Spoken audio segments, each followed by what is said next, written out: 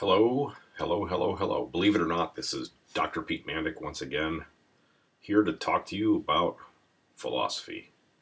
And we are continuing to talk about epistemology, the branch of philosophy that studies knowledge itself. And in this lecture, we're going to focus on a claim in epistemology, the study of knowledge, a claim that maybe there isn't much knowledge, or a lot of the things that people thought they knew about, they don't actually know. And we are going to be focusing in particular on a kind of version of that that is specifically about the external world, the world that lives outside of your head, the world that's external to your mind. A lot of what we're going to be talking about are certain scenarios that you might think of are just like really, really far out. Why would anyone ever wonder about that or, or need to take it seriously? The scenario that maybe you are just a brain in a vat, you think you have a, a body besides your brain, you think you have hands, but maybe that's just a weird dream or hallucination that a brain, your brain, is having because it's plugged into a machine, a computer that's giving it information directly, information which is almost entirely wrong. So here's a brain in a vat, and the vat is floating in outer space, and the brain thinks it's got a, a regular human body and it's standing on the beach looking at the waves. And it thinks it even knows that. It, it thinks it knows that it's standing on a beach and, and looking at the water in the ocean. But really, there is no beach, there is no ocean. There's just cold, cold space and the brain floating in its vat. And one of the things we're going to talk about is how thinking about skepticism actually helps us understand knowledge and maybe helps us better understand our relationship to the actual external world. So let's get into it. Here's an outline of what we're going to do in this lecture. First, we're going to talk about the definition of skepticism and different general kinds of skepticism. We're going to distinguish skepticism in general from specific kinds of skepticism, especially skepticism about the external world. And then next, we're going to define a certain kind of hypothesis that's related to skepticism. And in a lot of ways, this part right here, part two, is one of the most difficult and important parts of this whole lecture. So when you're studying for the, the quiz, this might be the part to make sure you really understand it correctly. What it means to be arguing for a skeptical hypothesis, or what it means to be instead arguing for something else, but using the skeptical hypothesis. And then in parts three, four, and five, we're going to look at three kinds of skeptical hypotheses that have come up in the historical literature about this stuff.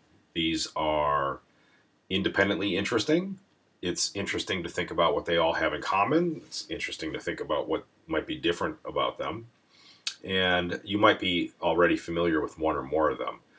Versions of these show up in different movies, uh, science fiction movies and, and TV shows, and you might recognize that, like, oh yeah, I saw a movie once where they basically had Plato's Cave, or it was basically a version of a brain in a vat. Okay, let's talk about the definition of skepticism.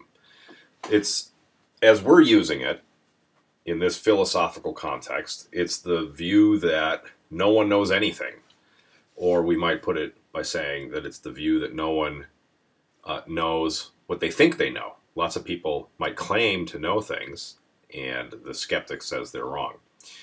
Now, there's other uses of the word skeptic and skepticism, and it's worth knowing what they are and making sure that you don't get confused and, and think we're talking about that other thing. So sometimes what it means for someone to be skeptical is that they're not very trusting. They don't just trust everything that they hear. They they want to subject it to a, a, little bit more certainty uh, or scrutiny before they um, make a judgment about whether they're going to believe it or not. You might say that that use of skepticism, skepticism is something like the opposite of gullibility uh, someone who is gullible, they just believe everything that they hear. They're, oh, okay, yeah, sounds good, and they're fun to play tricks on. You can get them to believe all sorts of crazy things. Um, A skeptic, though, is protecting themselves from being fooled. They are on the lookout for bullshitters and they don't want to get uh, deceived. And so they're very careful in the way in which they examine evidence and they don't want to rush to conclusions. So that's one use of the word skepticism. But this other use of the word skepticism, the one that we're focusing on in this lecture, is more than just an attitude of a reserving judgment, but it's a particular kind of belief. And it's a belief about knowledge, and it's the claim that, in general, or for specific sorts of knowledge claims, those claims are false. People don't actually have the knowledge that they claim to have. So that's the general sense of skepticism as it applies to this portion of epistemology. Now, in that sense of the word skepticism, where you're claiming that there isn't such and such knowledge, there's different kinds of that. There's different kinds of skepticism. So, one kind of skepticism is a skepticism that just focuses on claims about God. Another word for this skepticism about God is agnosticism. And agnostic is someone who claims that you can't know whether God exists. They may not be skeptical about anything else, just this God thing.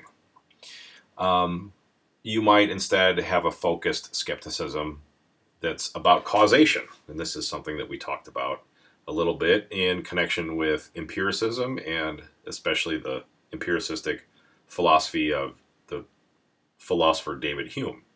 And that skepticism about, about causation. So maybe God exists. You, you don't care. You're not even talking about that. You want to talk about causation. And a lot of people claim to know that this causes that. And the skeptic about causation says, no, you can't have knowledge of causation. Maybe there's causation, maybe there isn't, but you can't have knowledge of it. Another kind of skepticism is skepticism about other minds.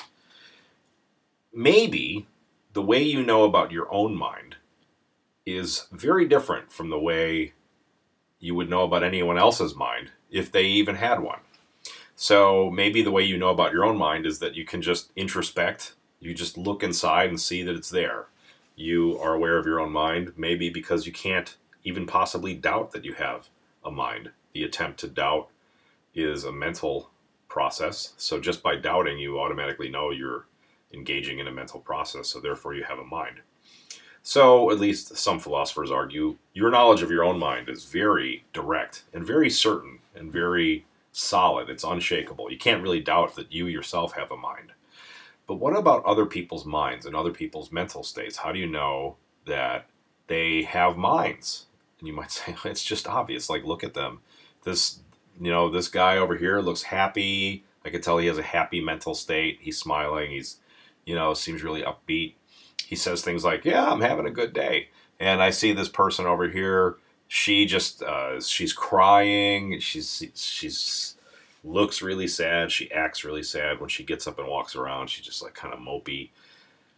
But according to this line of thought, you don't really know that they have minds because all you're really observing is their bodies, their faces. That's part of their body too. You're observing their outward behavior and the things they say. That's just verbal behavior the way they move, the way they move their mouth and make sounds with their voice, that that you have access to by sensory observation. You can observe their body and the behavior of their body. And speaking is just more behavior, it's verbal behavior. And you draw an inference based on those observations that maybe those behaviors are caused by mental states maybe they are acting happy because they have a happy mental state. But for all you know, they don't have a happy mental state. Isn't it possible that they're really just like robots that have no mental states at all and are merely going through the motions? Anyway, that's skepticism about other minds. We're going to be focusing on something else. It's skepticism about the external world. And it's kind of related to something I was saying earlier that many philosophers think that the knowledge you have of your own mind is very solid and unshakable and certain. And if you take that kind of knowledge as a model for knowledge, like the, the purest example of what you know is that you have a mind, then maybe the claim that you know anything eh, that would be external to your mind starts to look shaky. And that's the kind of externalism I'm sorry, that's the kind of skepticism we're going to be focusing on for the rest of this lecture is skepticism about the external world. What's the external world? It's the world that is outside of your mind. This, if, like if there was one, it would be outside of your mind. Skepticism about that. So it's not skepticism about everything. It's not the claim that there's no knowledge at all. It's just the claim that there's no knowledge of the external world. That whenever I say skepticism for the rest of this lecture, I'm going to be talking, what I mean is skepticism about the external world. Okay, so I, earlier I said one of the pieces of terminology that you're going to need to know in terms of all this is, besides what skepticism is, is what a skeptical hypothesis is. What is a skeptical hypothesis? And I also said this is going to be a little bit difficult for many students to really get a grip on. It's a little bit complicated, and uh, I'm confident that you'll get it anyway. But it is a little bit hard. So, um, a skeptical hypothesis, we might say, is a, uh, we might put in terms of a skeptical hypothetical, a hypothetical scenario. So, what is a hypothetical scenario in general? Aside from skeptical ones, what are what are hypothetical scenarios? Hypothetical scenarios are scenarios that maybe aren't happening right now, but they could be happening. You say, well, what if? Um, so, for example, um, I'm in a uh, I'm in a car and all the windows are open, and then I say, well, what if it rained? It's not raining right now, but what if it rained? Um, I might pull in somewhere and park the car, and uh, and it's a really safe neighborhood. I'm thinking about just leaving the windows open. But then I ask myself, what if it rained? Uh, well, the water might go in my car, and uh, and then I say, well, I'm just running inside to to grab uh, a few things from from the store. It'll be really quick. I'll probably be back in five minutes. What if it rained for just five minutes? Would the car be okay? So what I'm doing is I'm entertaining hypothetical scenarios. I'm thinking about like, well, what if it did rain? It's not raining right now, but what if it did? Um, the windows aren't open right now, but what if they were? Those are hypothetical scenarios. And now let's focus on a specific kind of hypothetical scenario. It's a hypothetical scenario where if that scenario was true, you wouldn't know something that you ordinarily think you know. So, um, here's an example of a thing you ordinarily think you know. You ordinarily think you know when your um, your phone is ringing. Most of you have phones, and sometimes even you um, keep your phones in your pocket. My phone is right here. It's not in. It's not in my pocket, but sometimes, sometimes I put it in my pocket, and sometimes I have it on uh, vibrate, and so I know my phone is ringing because I feel it vibrating. Okay, and I think a lot of people say like, yeah, that's a thing I know. I know when my phone is ringing. Okay, but here's a hypothetical scenario. Uh, maybe you are having one of those weird hallucinations that happen to a lot of people where you feel your phone like your phone vibrating in your pocket and your phone not only is not vibrating in your pocket your phone isn't even in your pocket this happens to a lot of people if it hasn't happened to you maybe you've heard of people that it happens to um, you get so like used to that process of the vibrating going off and telling you that your phone is ringing that sometimes like you won't even have your phone on you but there'll be like you'll be in a car and it bumps a little bit or jostles a little bit and your brain interprets that as the feeling of the phone vibrating. Okay so imagine this. You uh, you think your phone has just vibrated in your pocket but before you reach down and check to see if there's a phone you ask yourself is it possible that my phone is not in my pocket right now? If my phone wasn't in my pocket right now, then I wouldn't know that my phone was ringing. So that's a hypothetical scenario. It's a hypothetical scenario in which, if that scenario was true, then you wouldn't actually know the thing that you think you know. You think you know that your phone is ringing, but if your phone wasn't in your pocket, like maybe your phone was two, like two houses away. You were down the street at a friend's house and you left your phone there. And uh, by coincidence, your phone actually is ringing when you're having this hallucination of your of uh, of your phone vibrating in your pocket. So it's true that your phone is ringing, but you don't know that your phone is ringing. It's just a weird, lucky situation. You just happen to be having this hallucination at that moment while your phone is ringing. Okay, so this is getting complicated. Let's put it all together. So here's a situation. It has occurred to you that maybe your phone is ringing. Why? Because it feels to you like it's vibrating in your pocket. But now, wait a minute, just for the sake of conversation, entertain this hypothesis. Isn't it possible, without looking down, don't check, don't touch your pocket, isn't it possible that your phone is two doors down and you're just hallucinating that the phone is vibrating in your pocket? Isn't that possible?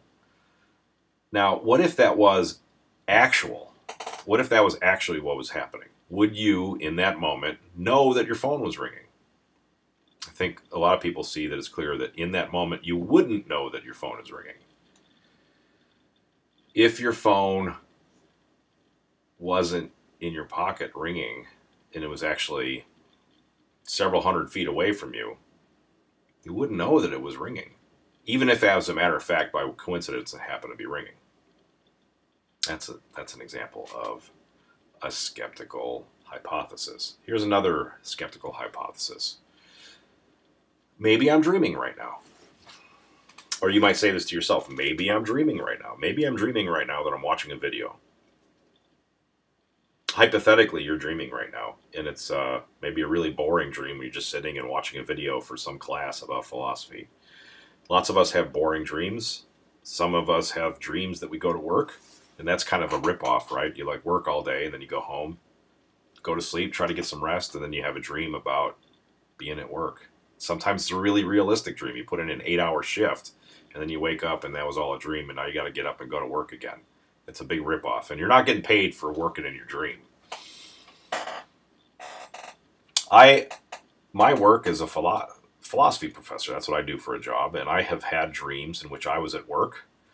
That means I have had dreams where I was in a class and giving a lecture to a bunch of philosophy students. And it has happened to me a couple times now that I am lecturing about whether maybe we are all dreaming. And in the lecture, in the dream lecture, I say, obviously we're not dreaming right now. Obviously this is real. And I invite the students to look at like, look at the back of your hand. Look at like all the little hairs and pores, or you know, uh, take take the nearest book or piece of paper and, and that you have and look at like all the little tiny details and all the little fibers and stuff you could see on the surface of your desk or something like that. Isn't that amazing? That couldn't possibly be in a dream. Obviously, we're not dreaming right now. And then I wake up. wow. Um, so here's a here's a skeptical hypothesis. Maybe you're dreaming right now. Now, am I arguing that you are dreaming right now? Am I trying to convince you that you are dreaming right now? No, I'm just asking you to imagine that you are dreaming right now. I'm asking you to think about what would follow if you were actually dreaming right now. What follows from that? Well, one thing that follows from that is that um, it's possible that there's no actual philosophy professor talking to you right now. I think there's a guitar right here. I think I know that there's a guitar here. I can feel it making guitar noises. But maybe I'm dreaming right now. If I'm dreaming right now, what's really happening is I'm in bed laying down. I'm not touching a guitar. I'm not anywhere near a guitar. So I think there's a guitar there, but do I know that there's a guitar there? Well, hypothetically, I'm just dreaming. If I was just dreaming, that I wouldn't know that there's a guitar there. That's a skeptical hypothesis. So the sorts of things that we're going to be studying in the rest of this lecture are these famous skeptical hypotheses, like, for example, the hypothesis that you're dreaming, or there's one we could call the matrix hypothesis. It's kind of a version of the brain in the vat hypothesis, and it was made famous in the Matrix movies. A lot of you have seen the Matrix and the sequels, Matrix Reloaded uh, and Matrix um, Part Three. I forgot. it wasn't that good. Anyway, um, other skeptical hypotheses are maybe I'm on drugs maybe somebody slipped me some really powerful hallucinogenic drugs a few minutes ago. I didn't realize it. They were playing a really mean, nasty, and frankly illegal trick on me. They put some LSD in my oatmeal or something like that, and I'm hallucinating. I, I think, I think there's a bottle of water in my hand right now, but maybe that's just a hallucination. If it was just a hallucination, that I wouldn't know that there's a bottle of water in my hand, even though it seems to me like there's a bottle of water in my hand. Okay, so other skeptical hypotheses besides I've been drugged or I'm dreaming are things like maybe I'm insane. Maybe I have gone crazy. I've lost my mind. Um, it hasn't happened to me yet. I haven't ever lost my mind, but some people do. It does happen to people. And um, often when it happens to them, they don't know that it's happening. They don't realize that they've lost their mind. They just take it completely for granted that you know, um, there's a the FBI is chasing after them, um, or they're receiving telepathic signals from um, the Pope. It just seems normal to them, but really they have lost their mind. Um, well, maybe that's happening to you right now, and you're hallucinating or deluded in thinking that you're watching a philosophy video, but really you're just you're just in prison somewhere without any videos, without anything to do, and you're just experiencing a weird sort of dream or hallucination. One of the famous and, and, oldest versions of this goes back to the philosopher Plato, and it's his allegory of the cave, Plato's story of the cave. And here's a drawing of the cave, but he described this in words and he says imagine imagine a group of people who spent their entire lives chained up in a cave a bunch of slaves chained up in a cave and they're forced to stare at this wall upon which shadows are being cast. And they never look away from the wall. They just look directly at the wall and at the shadows and they've spent their whole life looking at these shadows and they come to believe that's real reality. Real reality is a bunch of shadows. They don't know that behind them are people holding these objects up and light is coming from a fire casting shadows onto a wall. They don't realize that there's there's people that have captured them and enslaved them. It happened so long ago. They were very small children when it happened. They don't remember it at all. Their whole reality to them is just these shadows. And imagine some of the people that are looking at the shadows are really good at looking at the shadows, really good at remembering the different things the shadows do. They're kind of like experts of the shadows, and they take a lot of pride in their ability to predict, like, well, after this horse shadow jumps through the ring shadow, it's going to go try to lick the vase. And the and the other people are like, oh wow, what a smart smart guy, this expert of the shadows. They have no idea that real reality is this larger world, including a world outside of the cave. And now imagine that someone escapes from their imprisonment and they go out into the external world for the first time seeing more than just shadows, seeing the more than just the light that's cast from this fire. They are out in the full glory of the sun. What's going to happen? Well, one thing that might happen, says Plato, is that they're going to be dazzled by the sun. They'll be blinded by it. They'll hardly be able to see.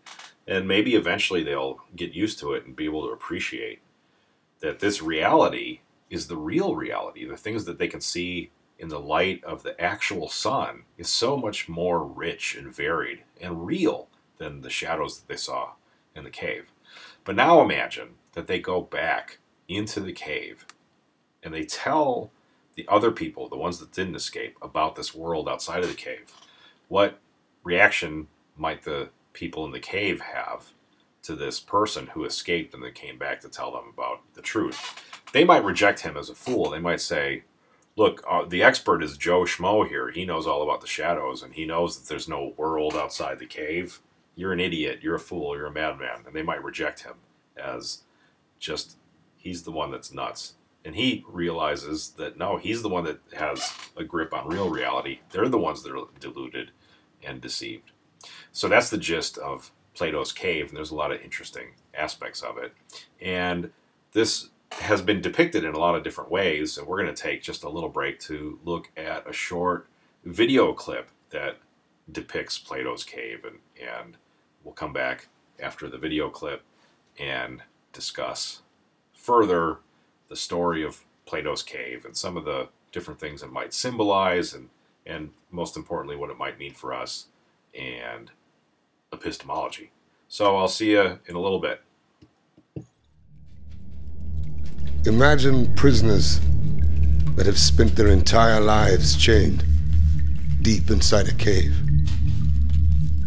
They have been chained so that they cannot see behind themselves, and they are forced to stare endlessly at the cave wall in front of them. Behind them, a fire is burning, and between the prisoners and the fire is a raised walkway. Now imagine that each day a menagerie of objects crosses the walkway. Animals and people carrying their wares to market.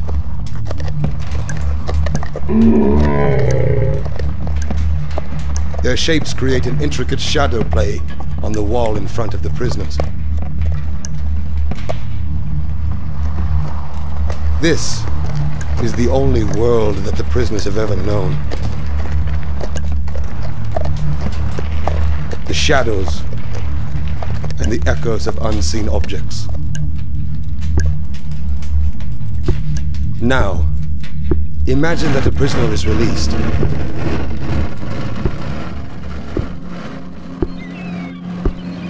After some time adjusting to the blinding light, the freed prisoner will begin to experience the world outside of the cave for the very first time. And it is like nothing he could have ever imagined.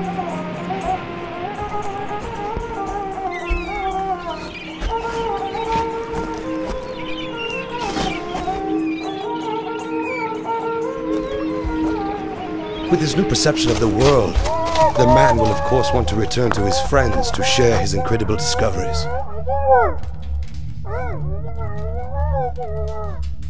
But the prisoners cannot recognize their old friend. He appears as all things do. His voice is a distorted echo, and his body is a grotesque shadow. They cannot understand his fantastic stories of the world outside of the cave. To them, it will never exist. This, of course, does not make the world outside of the cave any less real.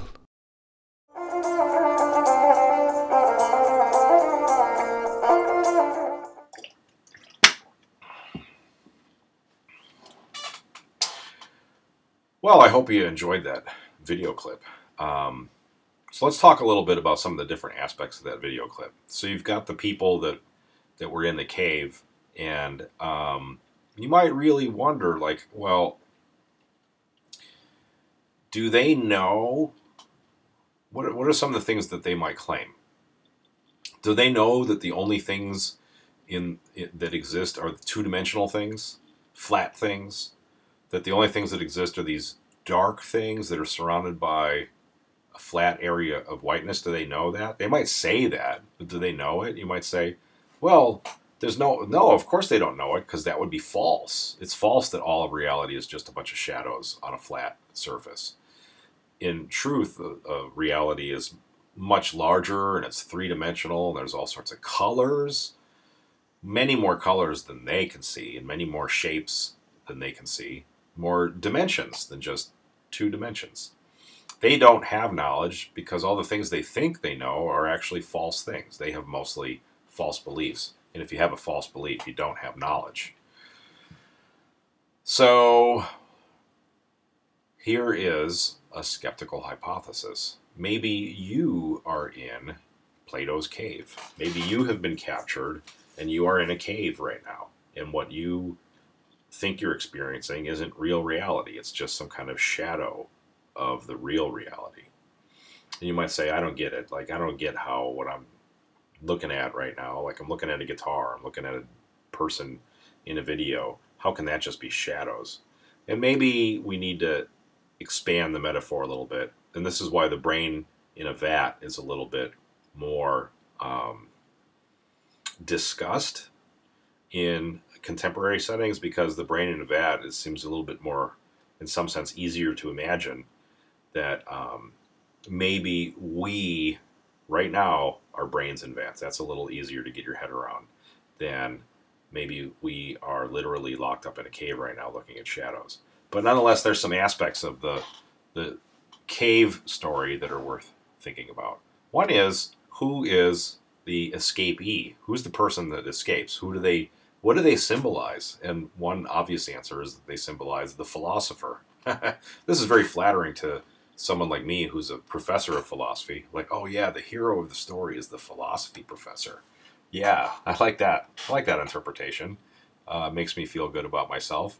But you might say, more broadly, this is the person who's not full of shit. This is the person who is not a not buffaloed, not easily hoodwinked. They're able to think outside the box, think outside the cave.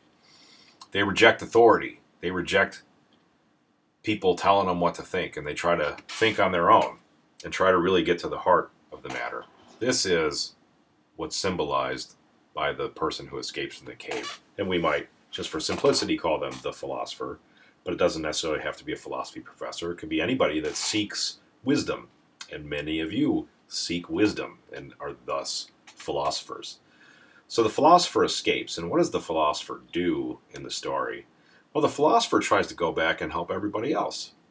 The philosopher doesn't just stay outside the cave and then try to get rich with all his new knowledge. He feels an obligation to go back and to try to liberate the people that are enslaved by their ignorance. Another thing that happens in the story is that he is rejected. His his offer to help them is laughed at, and they reject him. Plato's teacher, Socrates, was killed by the Athenians. They put him to, they sentenced him to death. Um, and you might think that this story is in part a commentary on what happened to Plato's teacher, Socrates. But let's focus on the epistemological issues, and that is the question of what do we know, and can our knowledge be undermined by contemplating skeptical hypotheses, like, for example, that maybe we're dreaming, or maybe we're hallucinating, or maybe we're imprisoned and being shown some kind of illusion. One of the most powerful, from a logical point of view, skeptical hypotheses is one that is discussed in connection with the philosophy of Rene Descartes. This is Rene Descartes' hypothesis of a deceitful demon. The deceitful demon is, maybe you can think of the demon as Satan or the devil. Um, Descartes wasn't trying to make a specifically religious point, and Satan and the devil are religious characters. He was saying, just hypothetically, what if there was a being that was super, super powerful as powerful as God is supposed to be. But unlike God, is not good. God is supposed to be good. but imagine a being that is powerful, as powerful as God, but not all good. what could that being do? Couldn't that being fool you about all sorts of things? Now, why is Descartes talking about this? Why is he talking about a deceitful demon? Well, he's trying to do a thing in epistemology. He's trying to figure out what he knows, and he's examining the various things that he believes, and he's wondering whether any of these beliefs are solid, whether they're anything that he could use as a foundation upon which to build up a body of knowledge, a body of science. So he's employing something that he calls the method of doubt. He is subjecting all of his beliefs to doubts and seeing if there's any beliefs that are left over that cannot be doubted. But now, if you're going to doubt your beliefs, what are you going to do? Take each belief one by one and, and see if you can doubt it? Maybe you have thousands and thousands of beliefs, and if you just do that one by one, try to see if you can doubt them, it's going to take you years. But maybe there are certain things that can help you doubt a whole bunch of beliefs in one fell swoop. So Descartes contemplates various skeptical hypotheses to see how many of his beliefs they will undermine. So, for example, he considers that maybe he is undergoing a sensory illusion. So, um, the skeptical hypothesis that maybe your senses are deceiving you, that, that your senses aren't working correctly, Well, what does that undermine? That undermines the sorts of things that you can you can see and, and feel, but maybe that leaves other things as well. Maybe there's still things that, that you wouldn't doubt just by contemplating the skeptical hypothesis that your senses aren't working correctly. So now imagine this. Imagine that there is a being that is so powerful. Not only can they make you make your senses fail, but they can make almost all of your beliefs false. So you believe that there's trees outside, but this being can make it make it such that there are no trees. This being is as powerful as God, and God can make all the trees go away, or have made the world with no trees in it in the first place. And so, if this being is as powerful as God, this being, this demon, can do that also. The demon could make it be the case that there never were any trees. And the being can make you believe that there are trees. So there's something you can doubt. You can doubt that there are trees. Even though you actually do believe there are trees, you can doubt it. And how can you doubt it? Well, you entertain this skeptical hypothesis. Isn't it possible that there is a demon that has put this false belief inside of your head? Isn't it possible that this belief is false and the demon made it so? And it, it might help to think about the correspondence theory of truth in connection with this. This is something that we discussed earlier. Correspondence theory of truth says something like truth is relationship between a belief and reality. Now, you have a belief about trees, and then if that belief is true, there are trees. But trees are things separate from beliefs. You could have beliefs without trees and trees without beliefs. So, isn't it possible then that this all powerful demon could have made the world in such a way that there's you and your beliefs, and your beliefs say there are trees, but there are no trees? Isn't that possible? Well, that is a skeptical hypothesis. If that is actual, then you wouldn't know that there are trees in that situation. Now here's the next step. We take the skept- we take the skeptical hypothesis as a premise in an argument. Hypothetically, isn't it possible that a demon could make you believe that there are trees even though there aren't any trees? Yeah. Yeah. Now what? Well, doesn't it follow that you currently don't know that there are any trees? Wait a minute, how does that follow? Well, we might put it like this For all you know, right now, there is a demon. Wait a minute. How do, are you saying there is a demon? No, I'm not saying there is a demon. I'm not arguing that there is a demon. I'm arguing that you cannot you cannot rule out that there is a demon. I'm not arguing that there is a demon. I'm arguing that for all you know, there might be a demon. Now, what if there was a demon? if there was a demon, you can have all the beliefs that you have now without any trees. So all of your beliefs about trees would be false, right? Right. Okay. So, now, what reason do you have for believing that there are trees? What do you got to go on? Well, arguably, the only thing you got to go on is your own beliefs. All the beliefs you have might be false, for all you know and so therefore you don't have knowledge of trees. So that is a skeptical argument. Um, but let's go back to Descartes. What's Descartes doing with the deceitful demon? One of the things that Descartes is doing with the deceitful demon is he claims he's discovered something that cannot be doubted. And some of you might have heard of this famous phrase that's associated with Descartes I think, therefore I am. I think, therefore I exist. In Latin, cogito ergo sum. consider the proposition I think.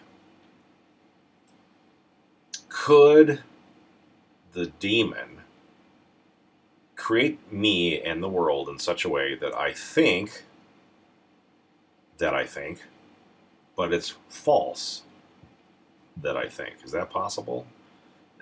We might apply the correspondence theory of truth again here and see that, like, well, here's a big difference between the thoughts about trees with thoughts about trees, there's a difference between the thought and the tree, and so you can have the one without the other. You can have the very same thought that there's a tree, and it could be true or it could be false. It'll still be the same thought. One version there are trees, the other version there aren't trees, but either way you still have the same thought. But what if the thought is about itself? What if the thought is about thinking? Could the demon make you have that thought and also make that thought be false? No, because in this case, the correspondent, the thing that the thought has to correspond to in order to be true, is itself. So if you have the thought, you automatically have the truth maker for that thought, and you automatically have a true thought. Another way of putting the point of I think in connection with Descartes and this demon stuff is if you think, I think, you now think something that is automatically true and it's automatically knowledge. Here's another way to put it you cannot doubt that you're thinking. You can doubt that trees exist, but you can't doubt that you're thinking. You could try to doubt that you're thinking, but that would just be more thinking. Doubting is a kind of thinking. So no matter what you do, doubt wise, you're always going to still be thinking. So you know you're thinking. It's certain that you're thinking. There's no doubt about whether you're thinking. So there's at least one thing that Descartes knows for certain, namely, I think. That's something that not even a being as powerful as God would be able to make false. It would be guaranteed, guaranteed to be true no matter what else is going on in the world, no matter how powerful the demon is it's still guaranteed to be true that Descartes thinks. Whenever Descartes thinks, that thought he's thinking is going to be true as long as the thought is I think.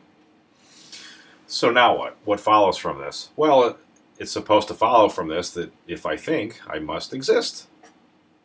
So now Descartes knows two things. He knows that he thinks, and he knows that he exists. We'll talk more about Descartes and his related philosophy of rationalism in a later lecture. But that's the basic idea of the deceitful demon skeptical hypothesis. The hypothesis is that there is a being that's as powerful as God is supposed to be, but unlike God, is very nasty and feels motivated to do things like to fool you. And you're supposed to imagine this possibility that the only things that exist are your mind and the demon the demon is putting false beliefs in your mind. That's the skeptical hypothesis. Is that possible? If that's possible, then aren't you not able to rule it out right now? You are unable to rule out that possibility. And if you're unable to rule out that possibility right now, doesn't it follow that you don't have knowledge about the things that the demon would be able to fool you about if the demon existed? You might say, This is crazy. There's no demon. I don't have to worry about it. But we're not arguing that there is a demon. We're arguing that there might be a demon. Are you in a position to say that it's impossible for there to be a demon? You might say it's very unlikely that there's a demon, but is it impossible? If it's at all possible, then you can't absolutely rule it out. And if it's all po- if it's at all possible, then maybe it's happening right now. And you wouldn't know whether it's happening right now because all you have to go on are your beliefs. And you would have the very same beliefs. They would just happen to be false because the demon made them false. And this demon hypothesis undermines every knowledge claim about the external world.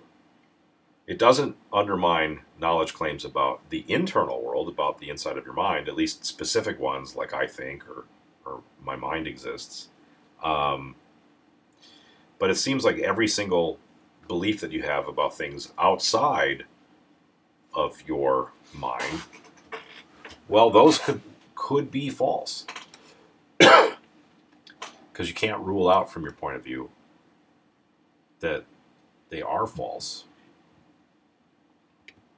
okay, here is the more science fictiony contemporary version of the skeptical hypotheses, like the brain, uh, but like the Plato's cave or the the deceitful demon. That is the brain in the vat skeptical hypothesis. The cave thing, you know, maybe it's hard for you to believe that someone, a human being, could be fooled by a bunch of shadows. Um, I mean, you have to imagine that they were in there as a little kid. If someone took you right now with all this knowledge that you have and stuck you in a cave. you'd probably figure out pretty rapidly that you're in a cave looking at shadows.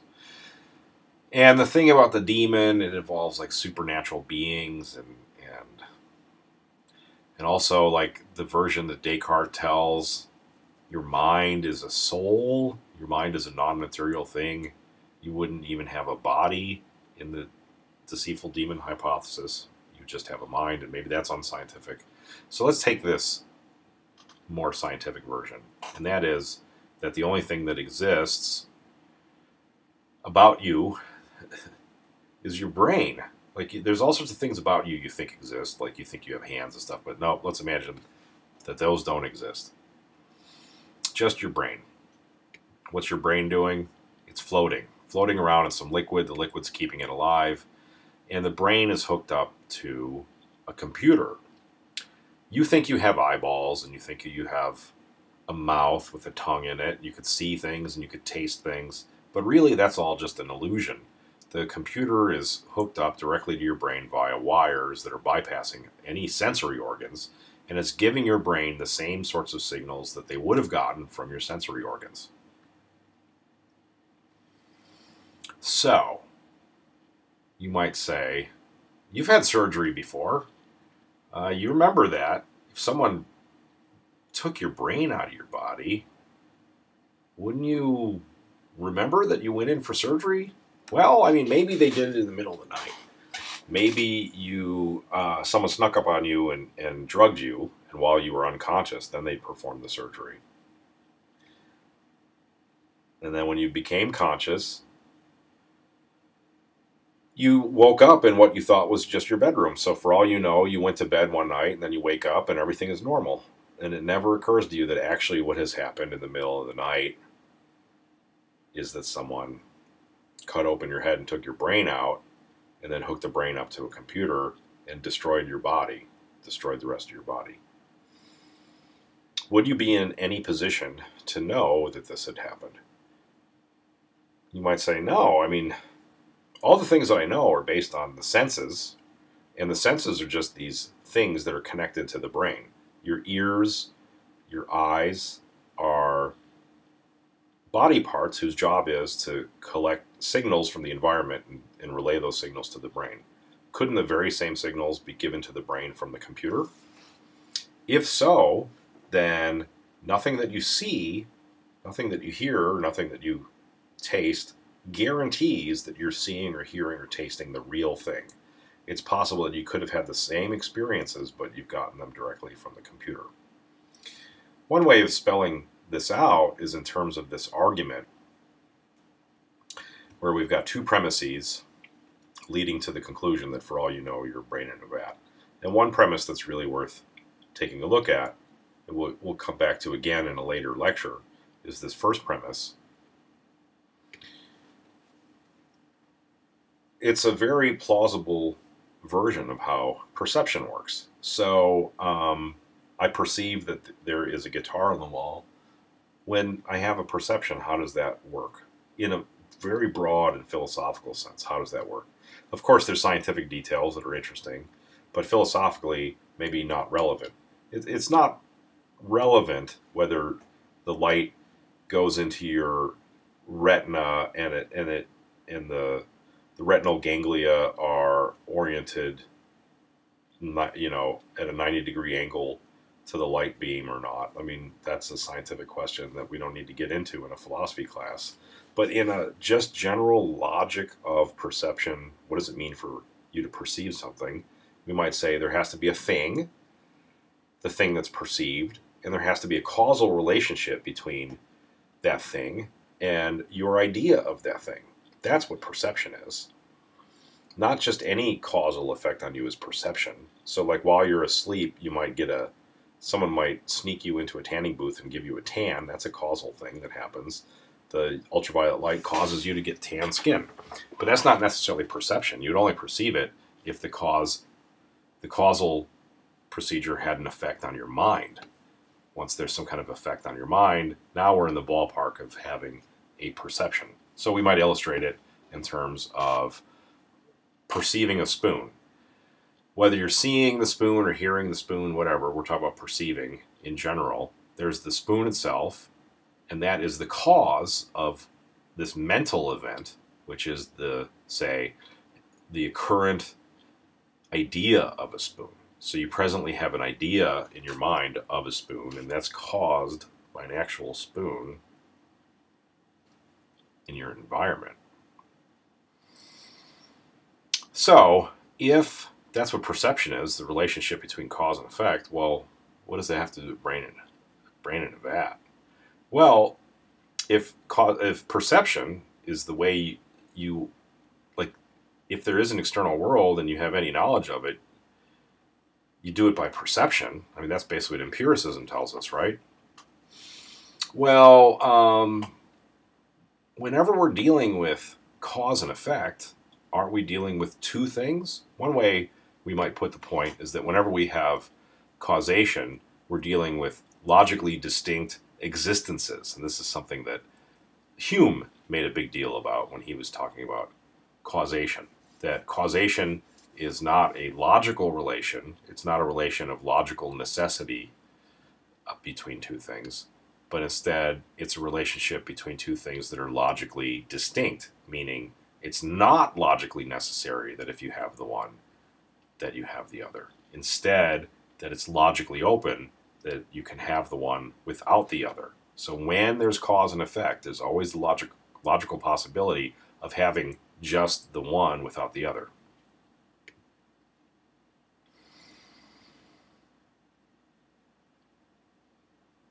Let's go back just a little bit. Um, so let's take one sort of example. Um, we've got a ball flying, and then we've got a window breaking. Now, a window breaking, that's a kind of event. When a window breaks, is it true that there was a baseball that hit it? That a baseball flew? No, there's all sorts of different things that could have come before the window breaking. Maybe the window was like right before the window was breaking, someone like went up to it and hit it with a hammer. That's one way to break a window. There's all sorts of different things that could lead up to a window breaking. None of which have to involve a, a baseball flying. So window breaking is an event that's logically distinct from a baseball flying. How about a baseball flying? Does that always lead to broken windows? Well, some baseballs fly without being anywhere near windows, and some baseballs fly into windows and then bounce off without breaking them. So just because you have a, a, baseball flying doesn't necessarily mean you're going to have a window breaking. Now, we take it to be the case that sometimes a flying baseball causes a window to break. So sometimes the one event is related to the other event as cause to effect. And of course, if something being an effect logically requires there being a cause, and being a cause logically requires there being an effect. But just being a, a broken window doesn't require logically that there was a flying ball and just being a flying ball doesn't require logically that there's going to be a broken window. So that's what it means to say that if events are related by cause to effect, the events themselves must be logically distinct existences. But if perception involves logically distinct existences, on the one end in the external world, there's the thing that's perceived, and on the other end, in the mental realm, there's the perception of that thing.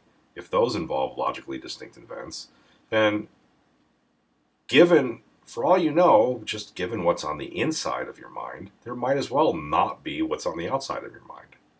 If we put this in terms of brains, given what's on the inside of your brain, it doesn't follow that there's necessarily one particular way that the world is. Maybe the, the way the external world is is very different. There's no spoon at all. There's just the fancy computer that is connected to your brain. So that's how this argument is supposed to work. We've got these two different premises, one saying that the way perception works is by relating an, an external cause to an internal effect. And then we've got this other thing about what generally happens with causation, which is it's a relationship between logically distinct existences and then we get this conclusion that for all you know, there's a completely different cause to all your perceptions. That really Your perceptions are just states in your brain that are being caused by the states of some virtual reality computer. You are, for all you know, brain in a vat. Okay, so those are a few skeptical hypotheses that you could mobilize in a few arguments for skepticism, meaning external world skepticism.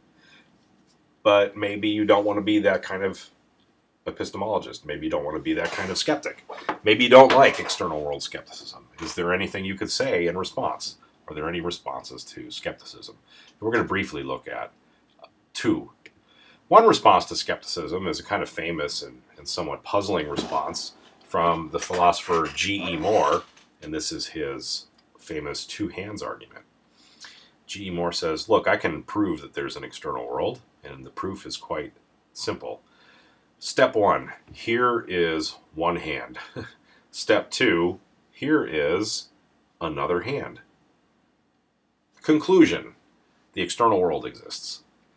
Now you might say, wow, that's that's how philosophy works. Philosophy is pretty easy, I guess. You just need two hands and you can defeat skepticism. But what really is going on here? What is the point of this argument? I have two hands. Like, if you really get your head around the deceitful demon thing, how is this supposed to destroy the deceitful demon? Like, if you really are worried about maybe that you're a brain in a vat, does G.E. Moore's hands thing really help? I mean, couldn't you just be hallucinating that you have hands? Couldn't someone in a dream say that you have two hands?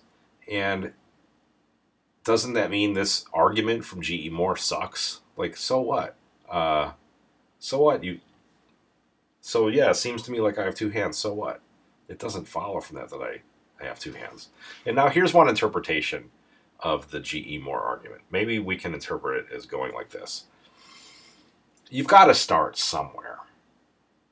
And in order to get those skeptical arguments like the brain in the vat and the deceitful demon off the ground, you're starting with a bunch of complicated stuff. Stuff maybe about the correspondence theory of truth and a certain view about causation and a certain like technical philosophical view about how perception works. And maybe that's just like a lot of extra stuff that you shouldn't be helping yourself to. You shouldn't be starting off with. If you're looking for a starting place, why not just start with something simple like I have two hands? Start with that. I have two hands. You mean you're experiencing two hands? No, no, no, no. I have two hands. Start there. Experience, that's fancy talk. Little kids don't talk about experience. When you when you teach little kids to speak, you teach them words like hands. You don't teach them like you have a red sense datum or you have you have the idea of a hand in your mind. You don't teach them that. You just say, "Here's two hands." Um, so maybe that's where you should start as a as a a lover of wisdom, as a philosopher. Start with, "I have two hands," and anything that calls that into doubt is itself more suspect than this initial claim that you have two hands. So you have to, uh, uh who are you going to believe? You're going to believe on the one hand, the claim that you have two hands, or are you going to believe, on the other hand, this complicated thing about the correspondence theory of truth and the causal theory of perception that ultimately leads to this ridiculous conclusion that you don't know that you have two hands? Who are you going to trust? What is a better place to start? So, any, we might put it like this any argument to a skeptical conclusion starts with way more stuff that is much more dubious than the very simple thing that is the opposite of that conclusion. And you should just start with the simple thing that you have two hands. You shouldn't let all this extra stuff come in if that's what the extra stuff is gonna is gonna do. Um, the premises of the skeptical arguments are far more dubious than the premises of this simple anti skeptical argument. Here's another response to skepticism, and it's one we're going to go into a lot more detail with in lecture 15, but here's a sneak preview. Maybe the best response to the skeptic is to just get rid of the external world. So the skeptic says something like, if there was an external world, you couldn't have any knowledge of it. And you might say, well, that sucks. I really want to have knowledge. So I guess I'm going to, let's just say there is no external world. Maybe then the right thing to say is that everything that is, is really in the mind. We might put this in terms of Descartes and the deceitful demon. So, what's the deceitful demon supposed to be fooling you about? The deceitful demon is fooling you about what's going on outside of your mind. The demon can't really fool you about what's going on inside of your mind. You have all sorts of thoughts. That's what you are, is a bunch of thoughts. And so, if you have the thoughts, you have the thoughts. And if you have the thoughts, you know that you have the thoughts. So, maybe when I say things like there is a spoon, I'm really just talking about something on the inside of my mind. I'm talking about the sort of thing that the skeptical hypotheses about demons and stuff wouldn't undermine. So, if what spoons are are ideas in my mind, then spoons are the sorts of things I can have knowledge of. And so, therefore, the skeptic about spoons is defeated. I do have knowledge of spoons. And we could take we could do this with all of the stuff in the exter- the so-called external world. I can have knowledge of it if it isn't actually external, it's actually internal. So, one interpretation of this is that um, you're curing a headache by cutting off your head. Like, the problem is how to have knowledge of the external world, and the idealist is saying, here's how you have knowledge of the external world. You just get rid of the external world, man.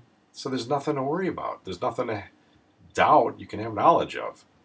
Um, or another interpretation is that they're just redefining external world as a certain region of the internal world. But that's kind of like saying we can achieve world peace by taking a ham sandwich and saying for now on, when I say world peace, I mean ham sandwich. So have I achieved world peace? Yeah, because I just had a ham sandwich, and for now on, that's what I mean by world peace. It's a kind of cheating. So this seems like a real philosophical problem, and that is how can we have knowledge of things outside of our brains or outside of our minds? And um, the idealist is just saying you can't. And that doesn't defeat the skeptic. It is just agreeing with the skeptic. So it's not, at least on this interpretation, not really a response to skepticism. It's not a counter argument to skepticism. It's just like an addition to skepticism. Okay, so let's uh, let's start wrapping this up with some study questions. Study question number one: Which would a skeptic be most likely to agree with? A. You are a brain in a vat.